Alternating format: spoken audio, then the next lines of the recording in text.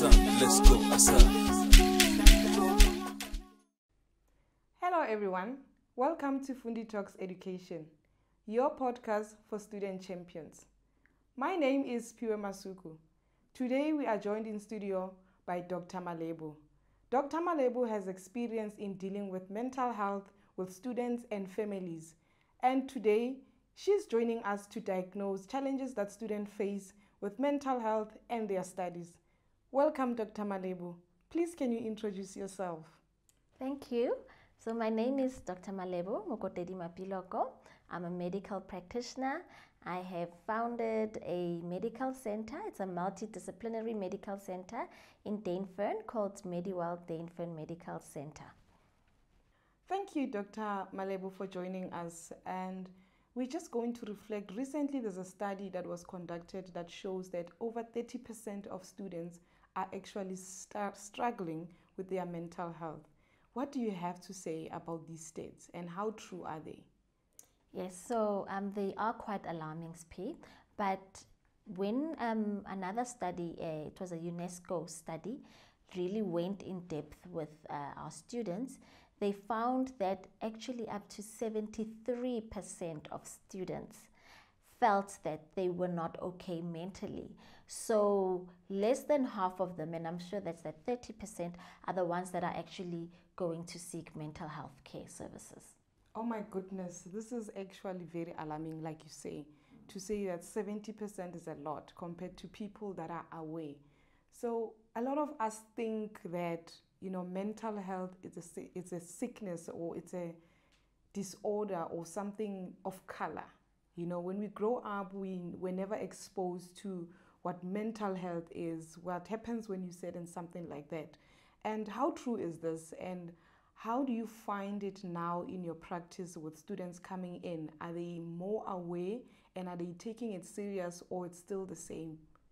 Yeah, so there has been stigma around certain demographics uh, who the people perceive that they have more mental health challenges.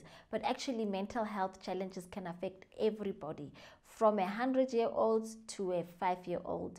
Um, whatever your cultural group is, whatever your financial status is, and in this case, it definitely can affect students as well. So, no one is necessarily immune from mental health challenges. So, this is something that we experience on a daily basis, and probably most of us are not aware of. And mostly students with the anxiety during the exams. What, what are some of the tests that you guys use in your practice to actually detect or to at least bring this thing to the attention of the student to be aware that actually something is happening mentally and they have to deal with it so that they are stable for their exercise and exams? Okay, so when I have um, parents coming in, usually typically it's parents bringing their, stu- their children in, being a bit worried about them. There are two tests that I, I, I do, um, and these are, are, big words, but um, you know, for the students listening, you can you can go on to Google. Uh, yeah, Google Doctor, um, and, and then so there's the PHQ9, which is a test for depression and there's a GAD7, GAD7, which is a test for anxiety symptoms. And this is accessible for anyone with a smartphone, right? Because it's on Google. Yes, definitely. Fantastic. It's accessible all through. Fantastic. Now, for someone who doesn't even know where to look or not even thinking about Google, what are some of the basic symptoms I can pick up from myself on a daily basis? Okay, so I will refer back to the PHQ9 and the GAD7, right? So these tests were actually formulated by psychiatrists. So they are clinical tests that are verified, very scientific tests, which look at if you have, you know, uh, three or more of the features, then it's telling you that you might have an anxiety or a depression issue. So I will give you an example. For in the GAD test, they will ask you something like, how often do you find that you worried and you can't contain that worry? You know? Every day. you see? Yes. And especially SP when you can't con- control it. For example, if I've parked my car and I think to myself, have I have I locked the car? have I not? And, and even as we're speaking, it's a, it's a thought that's coming in my head. That's a problem. Um, somatic symptoms. So that's just a big word to say physical symptoms. So if you are getting feeling like you your heart is racing all the time, you are tremoring, uh, you have stomach aches, you're not sleeping, you're eating too much, too little, sleeping too much, too little, then those are the kind of tests that are contained, the questions that are contained in the tests that will tell you that you need to see us. I can almost see myself in those symptoms, and most of them when I was still a student and I was going through my exams. Now is a critical time. Matriculants are writing in different tertiary institutions, students are writing, and they're actually going through or experiencing most of those symptoms. How do you control it? Okay, so that's a very good question. First of all, I would like to say, and I tell parents all the time and students that don't wait until the exams okay. or big tests to seek help. So in the beginning of the year, as the year is progressing, if you are having those symptoms, then you need to go and see a mental health professional. And we really um, will sit down and assess you. And after assessing you, we'll give you a plan. So, um, you know, usually I'll say it's I take a biopsychosocial plan. To look at how to best manage you with a fit that works for you. Okay. Yeah. Phew, doctor, this is a lot to take in. For a moment, I'm thinking you're diagnosing me as I'm sitting here with you. But the most important thing is at home. How do I prevent it or how do I manage it when I'm now feeling that all these symptoms that you've described, I'm starting to feel them, to have them, and I'm conscious of them? How do I prevent this? How do I manage it at all? Um, thank you, Spi. I love the fact that you mentioned to prevent it because mental wellness is not just going to the doctor when you're not feeling okay, yes. but actually making sure that you maintain your mental health. So when I see my patients, especially my young patients, I like to simplify it, right? So I say, let's take a bio psychosocial approach. Yes. So let's start with the bio. You need to make sure physically that you are sleeping well. Young people don't sleep well. We know whether you're out partying or you're scrolling through the night in your social media feed, and yes, studying as well throughout the night, yes. that is detrimental. Lack of sleep is detrimental to your mental health. The other thing is exercise. You know, exercise is almost a blanket approach as doctors for everything, right? So, for your heart, for your lungs, for diabetes prevention, but also for mental health, you really produce um, endorphins that are feel good hormones. No? So that's the biological side. Yes. The psychological side is literally making sure that you deal with the challenges that you face, particularly from home. So, um, and this is where I think it's so important to look at the importance of therapists. These are psychologists who can tell you and show you how to develop coping mechanisms in times of stress how to sort of reconfigure your thinking processes, how to become optimistic, how to fail well, you know. Yes. You know, most students, if you don't, I remember as a student when I started um, medical school and my physics exam went so badly. I'd never failed anything in my life. I can relate. And you know, I went through such a slippery slope. I didn't know how to fail well. I didn't yes. know that you can pivot. I needed to just go mm. back and relook at how I study, look at my study patterns, look at time management. So, all those psychological things. And you know, I tell young people that you also need to be able to say no and put yes. limits. Yes. Even with families. So, you have young people who are studying at home and still have a lot of chores to do. And it's busy.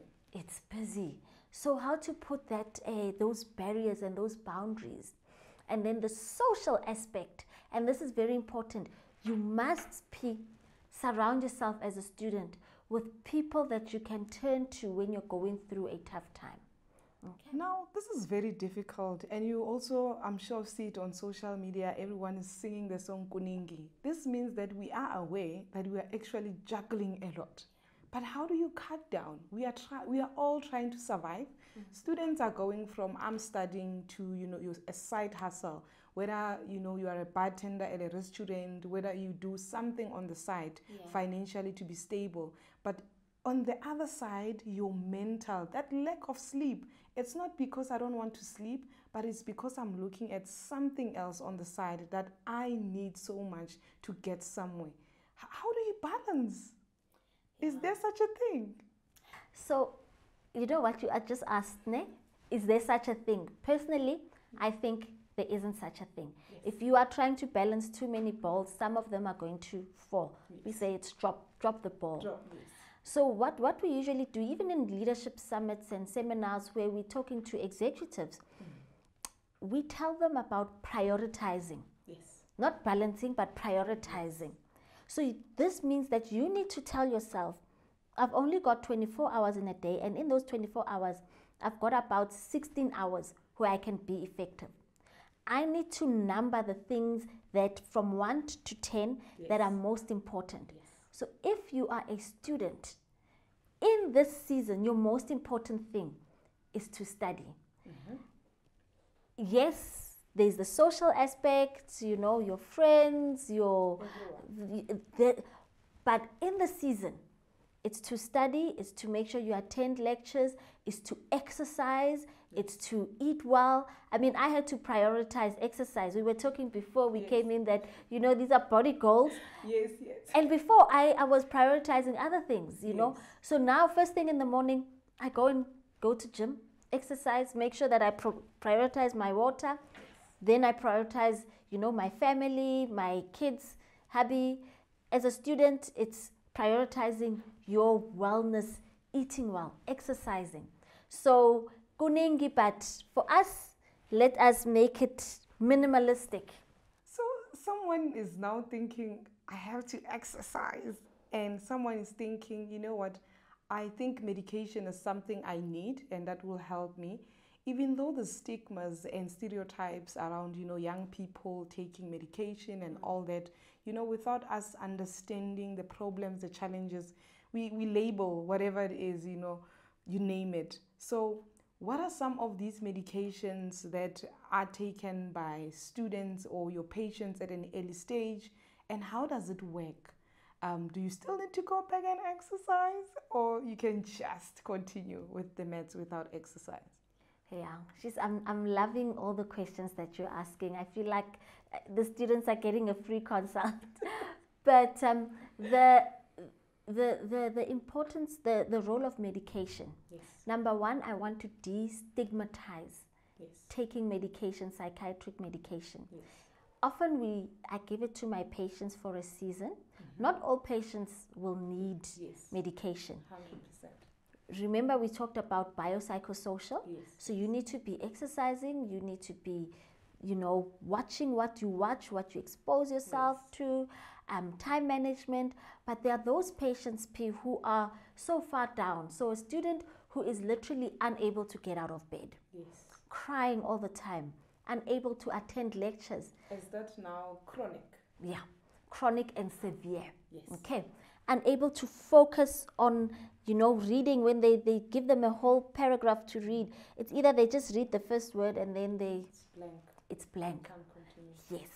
Yes. So those are the kind of patients where medication may play a role. And how the medication works is um, to summarize a three-year study into one one minute is that you've got certain neurotransmitters in your brain, all right? Serotonin, dopamine, and noradrenaline. These neurotransmitters are feel good hormones. So they help you to be able to think better, feel better. Um, they control impulsivity. And what we do is for a season, if you are very severely depressed or uh, severely anxious and it's incapacitating, meaning that you can't work Can't function. you can't function. Then we give you this these medications. For example, an antidepressant that's often used is a, a serotonin reuptake inhibitor to increase this hormone in the brain Balance. to balance. And once it's balanced in the brain for a while, that will also allow you to be able to seek, seek therapy, which is very important, mm-hmm. so that you are able to assimilate everything that the therapist is teaching you. Right? Once that's done, I usually say, let's take a journey for about six months to a year. Yes. Once you are that's done, provided you are in a better mental state, you're doing better at school, interrelationally, you're doing well. Yes. Then I start titrating the medication. And generally, provided you are doing all the biopsychosocial things, you won't revert back into needing the medication. Doctor, you are pressing on very important issues. Mental health is a process. It's not just a one-time thing. It's not something that you wake up one day and you know you survived. It's all good. You have to take yourself through the journey. Now, what are the types of mental health issues that are actually out there? you know, for us to be aware. When someone's saying, I'm anxious, I've got so much anxiety, when someone's saying, I've got so much fear, you know, there's people that have phobias also. Are those part of, or we are just making this thing up? Yes, so there's a variety of uh, mental health uh, challenges. The most common, as I've alluded to, is depression. Ne? So, depression and this anxiety. Yes. Depression for me, I would say, I think of it like a pancake. You are flat. ne? It's that person, that friend where you're like, show me, let's go to the library and study. No, I don't don't feel like I don't feel like it. Let's go out and I don't feel like it. You sit with them, all they can tell you is how terrible uh, life is going. They can't see light at the end of the tunnel at all. That's okay, depression. that's depression. Those are the dangerous students because those are the students that actually won't go to class, Yes. you know, or won't study or won't focus in an exam. And then you get anxiety, which is almost the other the other sort of option where I think of it as a popcorn uh, content. Yes, everything is, you know, you are like, okay, Chomi, let's go study, let's walk to the library. No, but what if we get attacked while we're there? What if, you know, my heart is beating fast, I might be dying? So those are the very extremely worried, worried patients. And also, that also still can affect your studies because when you are trying to focus, you need to almost be in a calm place and not thinking about, sure, what's happening at home. My mother is sick, my father's left us, who's going to pay my school fees, you know, so that, that's also detrimental. But we have other things, for example, post traumatic stress disorder. Yes. It's a type of anxiety disorder. We know that in South Africa, there's a lot of social ills that our students are facing Definitely. Gender based violence, girls are being attacked, there's violence, there's crime, there's a lot of poverty. Our students come from places where they see a lot of trauma, chronic trauma, Yes. you know, at home. And that can cause someone to have PTSD where they're hyper vigilant. Yes. So they're always, you know, On the lookout for something. on the lookout for something. And then you get your more severe sort of a, mental health challenges. This is bipolar, where the patients then are very, very happy. They want to spend everything. They spend money. They, you know, one of the things is people I who. blew it. I, Bona, I blew it. so you have that, and then they go through processes where they very Yes, they depressed, deep, and the, with the depression, it's so deep where you find them sometimes cutting themselves, Mm. sometimes um, suicidality. Yes. You know, in this season we That's have definitely the last level of it. last level, yes. So you have that, and then there's something called attention deficit disorder, ADHD. A lot of students come to me and say, "Yo, doc, I'm ADHD. I need pills." I'm like, "No, no, no. It's not.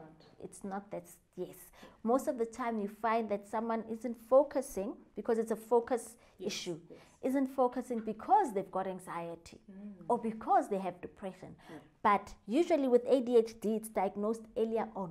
You know, if you have those kids, ne, Don't where give them sweets. don't give them Normally sweets. say that. Yeah. It's those kids who come in and then they, you know, take this book out. They pull out your the kids that They're can't. too busy. Yes. So that is actually a, a, also a type of mental health Mm. challenge that we, we, we see a lot in, in our students, but those are usually students who've had it for a while. So yeah. This conversation is very interesting and it's triggering a lot of memories for myself and I'm sure for the viewers also at home. Mm. Now, if, if, if this student is now in a stage where I can assist because I might feel like I'm being drained emotionally by them, where, where do I refer them for help? Well, what, what channels are there freely and also, you know, where you can go and pay for a consultation for them to actually seek help and get help? Okay, so I think that the first uh, two things that you have to look at when you are supporting a friend mm-hmm. number one, if your friend is suicidal. Yes. So if they mention, you know, and, and usually people who've committed suicide will say, or people, the friends of people who've committed suicide, they'll say, this person was talking, Horish, I'd rather be dead. Maybe yes. my life would be. The lines are there. The lines are there. They give you those signals. Then you make sure that you take them to a healthcare professional either a medical doctor, a GP like myself, because generally we are quite accessible in terms of no waiting period. You can literally walk in, mm-hmm. or a psychologist or psychotherapist. So on campus, generally there should be something, um, you know, a counseling service. Yes. If there isn't, there's the South African Depression and Anxiety Group, which is a free counseling service that you can help your friend reach into. Okay. Um, what's exciting now is a, so I've teamed up with a, a company called a- Abovex, which is joining up with Fundi called, and creating a Fundi health platform, which is, I know you young people, you're all digitized, yes. right? you know, so you've yes. got a counselor at your disposal. So you literally want to create an atmosphere where I can say, Chomi, I can see you're not okay. Let's whip out our cell phone. Let's mm-hmm. click here. Let's see if we can connect with somebody who can talk me through and help me to diagnose and manage this problem. And um, so there, there's a lot of resources available, yes. both paid and, and free. Yeah. Dr. Malebo, thank you so much. I can't thank you enough. Even the student at home, they are feeling that this consultation was very informative, the parents as well. Um, thank you so much, everyone who's listening. Today, we brought to you Dr. Malebo to talk to us about uh, mental wellness as well as how does it affect the student journey. And we are happy that we've got you know some insights some of the tools that we can access on google since we are socially out there and we are always on the platforms looking for information. So feel free to tap into the resources that are provided, the SA Depression Group. If you have a psychiatrist at your disposal, please, please feel free to talk to them about your mental health. What we've learned today is that your mental is a journey. You can never ever go on a one day adventure to be mentally healthy, but also it's some of the choices don't wait until the last time. It's also some of the things that you expose yourself into. And again, be aware of your surrounding. Be aware of the little things that add up to how you feel, what you do each and every day. Thank you so much. Until next time. Thank you. My advice is what I would have told myself as a 19 year old first year student, and that is biopsychosocial. Make sure that I am sleeping well. Make sure that I'm eating well. Students, make sure that you exercise. You prioritize making sure that you are healthy and well. Try and avoid alcohol, please. Alcohol is a neurotransmitter depressant. It contributes to depression and, at the end of the day, anxiety. Psychological. Make sure that you prioritize your mental health, what you expose yourself to coping mechanisms, resilience. If you do need to reach out to a therapist, do so. It's not a mark of weakness, guys. And understand that it's okay not to do well the first time. Fail forward. Social. Make sure that you make an attempt to have a social network, friends around you who really support you, who have your back, who encourage you. And most of all, be that friend who's there for others. It really helps with your mental health.